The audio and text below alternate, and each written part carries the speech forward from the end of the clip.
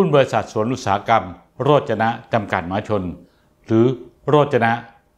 เป็นหุ้นในกลุ่มนิคมอุตสาหกรรม และอยู่นอกสายตานักลงทุนมายาวนานหลายปีนะครับ ราคาเคลื่อนไหวระหว่าง 6-7 บาท และมูลค่าการซื้อขายบางตามาก แต่ช่วงนี้มีความโดดเด่นขึ้นมา โดยเฉพาะเมื่อวันจันทร์ที่ผ่านมา ราคาสร้างจุดสูงสุดใหม่ ในรอบ 12 เดือน ปิดที่ 7 บาท 5 สตางค์เพิ่มขึ้นมา 35 สตางค์มูลค่าการซื้อขายก็หนาตาขึ้น 164 ล้าน โดยมีข่าวว่า นักลงทุนต่างชาติกำลังย้ายฐานเข้ามาในนิคมอุตสาหกรรมประเทศไทย และสวนอุตสาหกรรมโรจนะ เป็นนิคมอุตสาหกรรมที่นักลงทุนต่างชาติ จะย้ายฐานเข้ามาผลิต นักลงทุนก็แห่เข้าไปเก่งกำไรนะครับ ความจริงหุ้นตัวนี้ต้องบอกว่าปัจจัยพื้นฐานใช้ได้ เพียงแต่ว่าราคาไม่ร้อนแรงเหมือนหุ้นเก่งกำไรทั่วไปนั่นเอง เป็นหุ้นที่เหมาะสำหรับการลงทุนนะครับ ถือและระยะยาว และกินเงินปันผล เงินปันผลนี่ถือว่าดีนะครับ อยู่ระหว่าง 3%กว่าถึง 5%กว่า ค่า P ratio ล่าสุดเนี่ย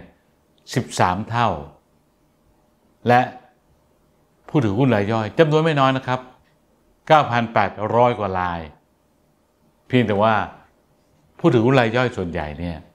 ถือเพื่อการลงทุนระยะยาว นี่ราคาปิดต้องถือว่าเป็นราคาสูงสุดใหม่ในรอบ 12 เดือน ราคาต่ำสุดในรอบ 12 เดือน 5 บาท 45 สตางค์นะครับ ปิดล่าสุดที่ 7 บาท 5 สตางค์พอราคาหุ้นขึ้นมา ในรอบ 11 วันทำการขึ้นมา 10 วัน แล้วก็ขึ้นมาแรงเมื่อวันจันทร์ที่ผ่านมา เรียกความสนใจของนักลงทุนนะครับ เชื่อว่านักเก็งกำไรคง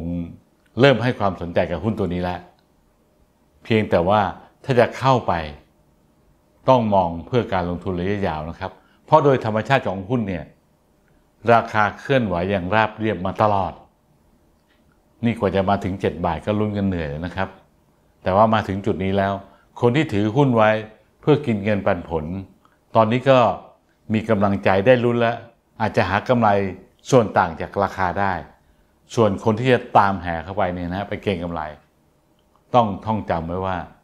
หุ้นตัวนี้เป็นหุ้นซื้อเพื่อการลงทุนระยะยาว แต่ว่าราคาหุ้นที่ดีดตัวขึ้นมา และทำให้มีกำไรส่วนต่างราคาหุ้น นี่เป็นของแถมนะครับ เอาละครับ ถือว่า